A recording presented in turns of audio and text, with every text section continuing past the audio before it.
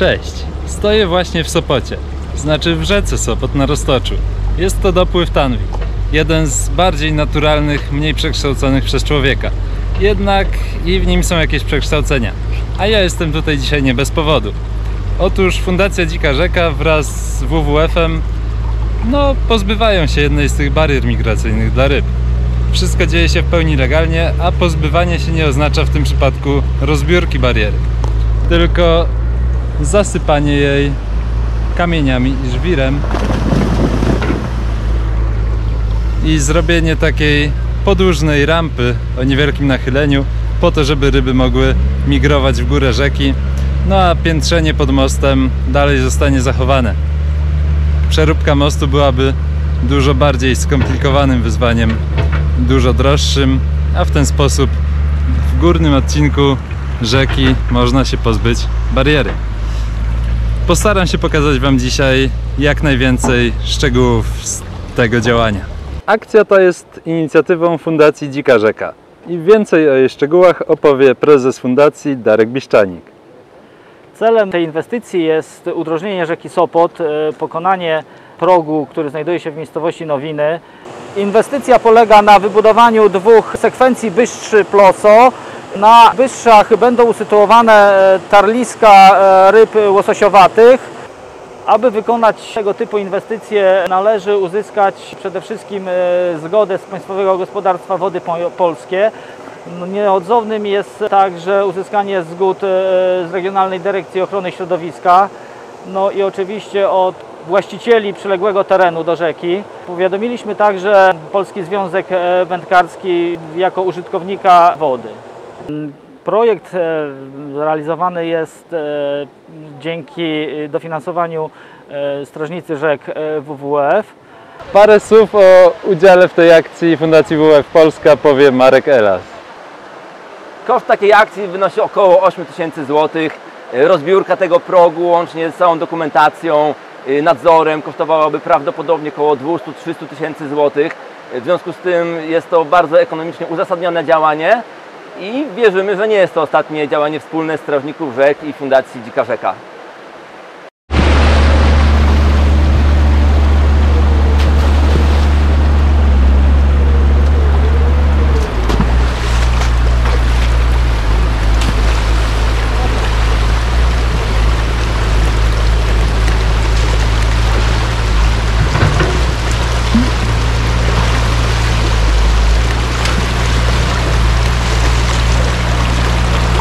O technicznej stronie przedsięwzięcia opowie co nieco pan Józef Jeleński, specjalista od rewitalizacji rzek.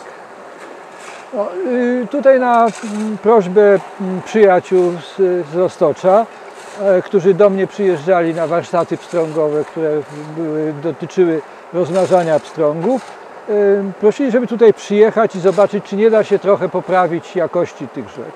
No jeździliśmy, pokazywali nam mi takie miejsca, które im się wydawały, że, że trzeba je wynaprawiać. Między innymi tu jest takie jedno miejsce, gdzie ktoś wybudował kiedyś taki stopień, prawda? I ten stopień miał spadek prawie 60 cm, co utrudnia komunikację pstrągów.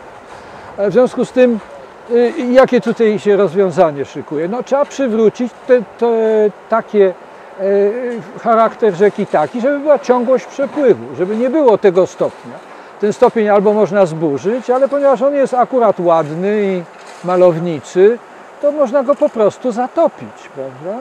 Czyli przywrócić dawny profil rzeki, gdyż po wybudowaniu stopnia to poniżej robi się wybój. Tak? Ten wybój trzeba jakoś tam zasypać, żeby ryby mogły sobie po prostu przez ten stopień swobodnie przepłynąć. No i tutaj taka robota jest widoczna, a, a przygotowanie do tego musi być takie, że trzeba sobie wyobrazić, jak ta rzeka była przedtem i uzupełnić materiał taki, jaki też tutaj musiał występować, żeby nie został rozmyty później w przyszłości. To wszystko. No właśnie, bo jest to taka, będzie to taka sekwencja bystrze ploso, naśladująca właśnie takie naturalne sekwencje w rzece. No, no bo teraz tak, gdybyśmy zrobili bardzo szybki taki przepływ, gdyby było bardzo strome takie bystrze, bez żadnego podparcia od, y, od następnym bystrzem i następnym bystrzem, to wtedy mielibyśmy y, y, przede wszystkim bardzo szybki prąd wody, niekoniecznie przyjazny środowisku, a później byłby dalsza erozja by była w tej rzece już na zasadzie takiej, takiego samego zbyt dużego e, spadku. To też e, y, rzeki normalnie tak się same kształtują, że tworząc jakieś zakole, to wymywają sobie materiał, ale go zostawiają w punkcie przegięcia e, osi koryta i tam się tworzy taki garb jakby w dnie i ten, to, to, to, ten garb nazywamy koroną bystrza i później te, tam się po tym skłonie schodzimy sobie do następnego tam takiego plosa, które jest głębsze i węższe, a zawsze te garby są płytsze i szersze. I jak my potrafimy to samo naśladować w potoku takim jak tutaj, no to, no to mamy to, to, możemy to robić. E, Akurat do tej sekwencji bystrze ploso są równania równowagi. To też można nie tylko dobrać w stosunku do przepływów, które w takiej rzece panują, można dobrać zarówno i uziarnienie tego materiału skłonu, i materiału zaplecza, jak i spadki skłonu zaplecza, szerokości, te wszystkie rzeczy w takich wzorach równowagi, które y, opracował pan Hej, ale później pan Thorn jeszcze uzupełnił o, o konieczny y, o konieczne dostawy rumowiska, gdyż, gdyż normalna rzeka zawsze ma jakiś transport rumowiska. Jeżeli nie transportuje tego rumowiska, to niszczy, zniszczy się sama przez to, że nie dochodzi to rumowisko z góry. No i tylko tyle. No. A tu akurat chłopcy chcieli to zrobić i mają to zrobione. No. Za chwilę będą mieli to zrobione. No tak, roboty trochę jest, ale tak na jeden nie dzień. wiem, czy to jest dużo. prawda? No właśnie. To znaczy, y, nie wiem ile to będzie kosztowało, ale to nie będzie kosztowało więcej niż kilkadziesiąt tysięcy złotych plus trochę pracy ochotników. Natomiast wyburzenie tego stopnia, który jest pod mostem, to by musiało kosztować, nie wiem, bardzo dużo. Przede wszystkim by kosztował projekt, rozeznanie, czy się ta cała konstrukcja mostu nie zawali, jak my wystawimy ten, ten.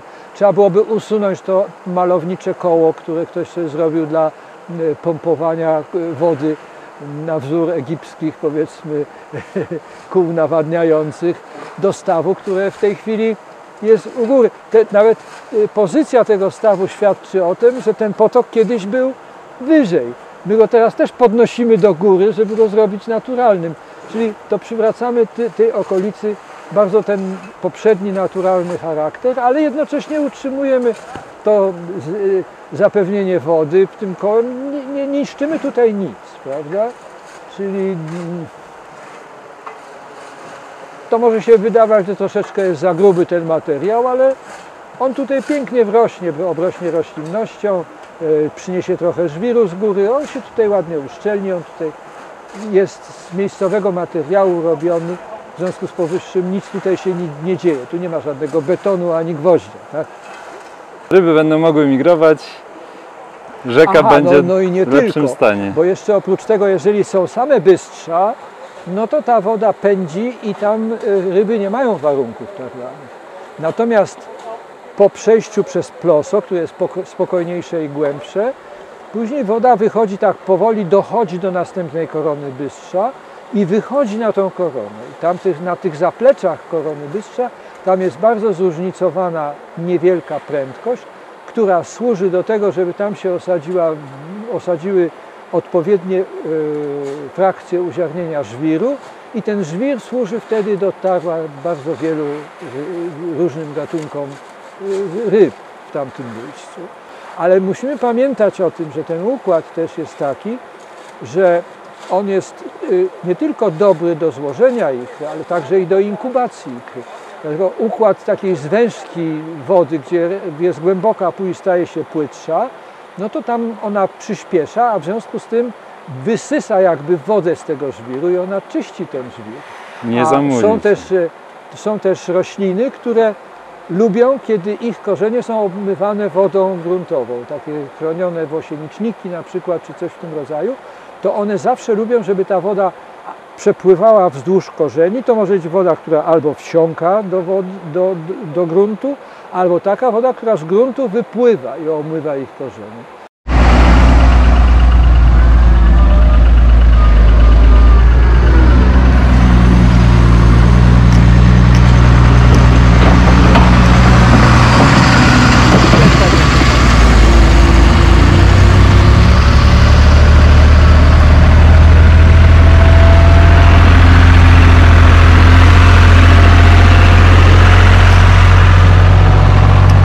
po nie wiem ilu godzinach, ale pewnie z dziewięciu. Prace nadal trwają, ale już mają się coraz lepiej. Próg jest całkiem nieźle podparty, że tak powiem. Poziom wody podniósł się na tyle, że no dla strągów już nie będzie to stanowiło przeszkody. Dla słabszych gatunków ryb to się jeszcze okaże, ale jeszcze będzie dosypywany żwirem, drobniejszym materiałem, więc poziom wody po takim uszczeleniu trochę się podniesie. Tam jest do paliku, to paliku gruby. To od końca nie zaczyna, nie?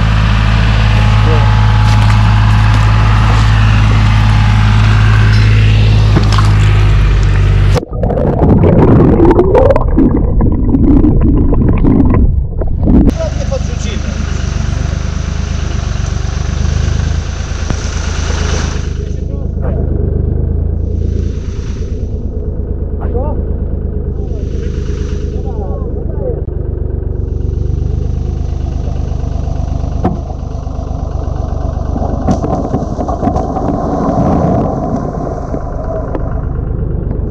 I dalej ręce. Miało być wszystko kopanką.